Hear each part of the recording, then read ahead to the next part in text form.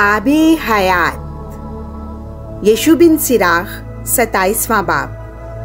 कुछ नफा के लिए बतेरों ने गुनाह किया, और दौलत का तालिब चश्म पोशी करता है। जुड़े हुए पत्थरों के दरमियान मेख गिर जाती है, और खरीदो फरोख्त के दरमियान गुनाह लटक जाता है।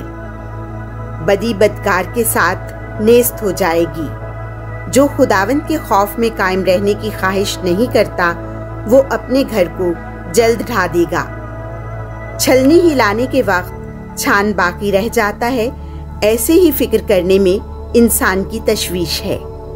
मिट्टी का बर्तन भट्टी में आजमाया जाता है और इंसान का उसकी गुफ्तगु से इम्तिहान किया जाता है। जिस तरह दरख्त की खबरगिरी उसके फल से ज़ाहिर होती है, उसी तरह इंसान के दिल का ख्याल उसके कलाम से ज़ाहिर होता है। आदमी के कलाम करने से पेशतर, उसकी तारीफ़ ना कर, क्योंकि इसी से आदमियों का इम्तिहान किया जाता है।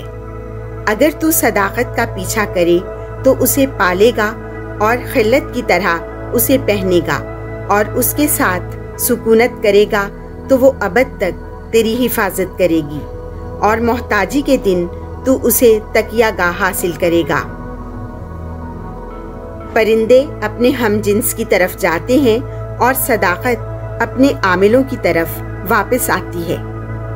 जिस तरह शेर अपने शिकार के लिए घात लगाता है, उसी तरह गुनाह बदी करने वाले के लिए घात लगाता है।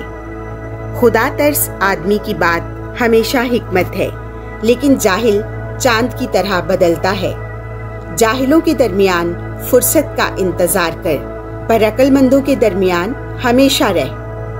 अहमकों की गुफ्तगु मकरू है और गुनाह की लज्जतों में उनकी हँसी है। बहुत कसम खाने वाले की बातचीत रोंगटे खड़े कर देती है और आदमी उसकी बेअदबी से अपने कान बंद कर लेते हैं।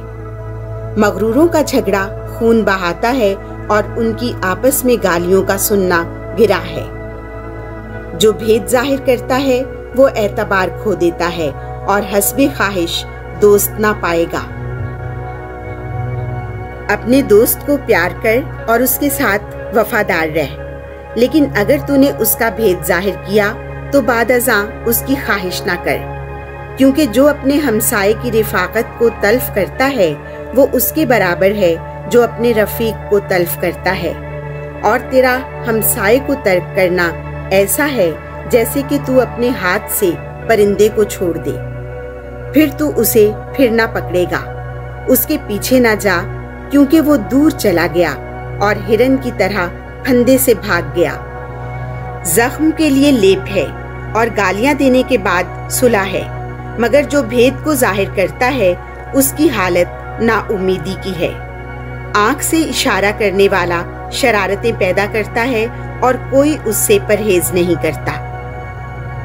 तेरी आँखों के सामने वो अपने मुँह से मीठा है और तेरे कलाम की तारीफ़ करता है बाद अजा वो अपनी बात बदलेगा और तेरे कलाम से तुझे ठोकर खिलाएगा। मैंने बहुत सी बातों से नफरत की, लेकिन इसके बराबर किसी से नहीं। और खुदावंद भी उससे नफरत करेगा।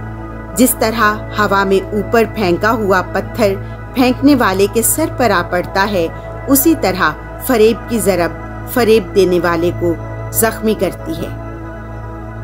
जो गढ़ा खोदता है, वो उसी में गिरेगा।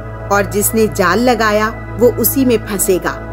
जो बदी कोई करता है, वो उसी पर लौट आएगी और वो ना जानेगा कि वो कहाँ से उस पर आई। मसखरी और मलामत करना मगरूरों का बखरा है और इंतकाम उनके लिए शेर की मानंद घात लगाएगा। जो रास्तबाजों के गिरने पर खुश होते हैं, वो जाल में शिकार किए जाएँगे और गम उनकी मौत से पेशतर उन्हें फना करेगा। कीना और गजब दोनों मकरू हैं और खताकार आदमी उन्हें पकड़े रहता है।